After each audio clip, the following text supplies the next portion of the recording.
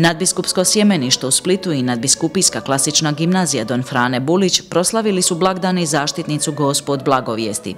Misno slavlje u kapeli nadbiskupskog sjemeništa predvodio je splitsko-makarski nadbiskup Monsignor Marin Barišić u koncelebraciji s dubrovačkim biskupom Monsignorom Matom Uzinićem, generalnim i pastoralnim vikarom, ravnateljima gimnazije i sjemeništa te ostalim svećenicima.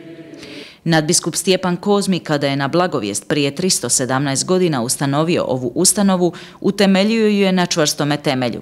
To je onaj temelj koji je postavio gospodin ulaskom u našu stvarnost i što se gradi na tom temelju vječno je, kazao je nadbiskup Barišić, obrativši se nazočnima, osobito roditeljima, prvim odgojiteljima gimnazijalaca, nastavnicima te samim gimnazijalcima, koji već godinama postižu zapažene rezultate na natjecanjima iz raznih predmeta na županijskoj i državnoj razini.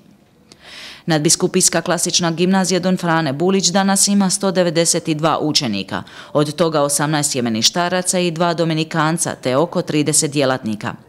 Tradicionalno na svetkovinu navještenja gospodinova propovjeda sjemeništarac maturant, tako je ove godine homiliju održao Benjamin Daniel Vrdoljak. Za vrijeme mise pjevao je mješoviti gimnazijski zbor pod ravnanjem sestre Lidije Matijević. U poslijepodnevnim satima u velikoj sjemenišnoj dvorani upriličena je svečana akademija. Sjemeništarci pod vodstvom prefekta Don Vedrana Torića izveli su dramsko-scensku igru Postolari vrap. Temeljno pitanje predstave je biti ili imati, a poruka gdje ti je blago, tu ti je srce. Oprostite, izvolite, šta vam triba? Došao sam da mi izglacate cipele. Ja se ne bavim glanjanjem cipela šior. Tko ovdje plaća, vi ili ja? A od kada vi ovdje radite? Naslijedio sam ovu radnju od oca mi. Zanimljiva lokacija, pa ovo je središte grada. Vidite, otvorio bih kladionicu. Klaonicu. Kladionicu. Aha, kladionicu. Pa baš ovdje. Pa ovaj dio grada ne može biti idealniji. A jeste li vi možda razmišljali o, o iznajmljivanju svoga prostora? Molim, pa jeste vi normalni da prodam svoju djedovinu?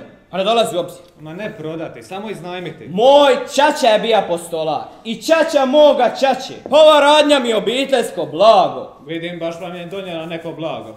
A kakve koristi vi imate od toga? Kad je ne bih imao, ne bih ni ulagao. Kako se onda ja uklapam u tu priču?